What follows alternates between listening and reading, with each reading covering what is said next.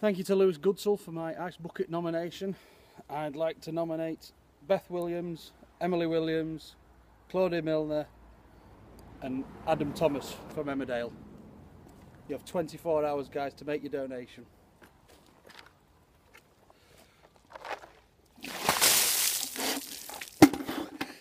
That's brisk.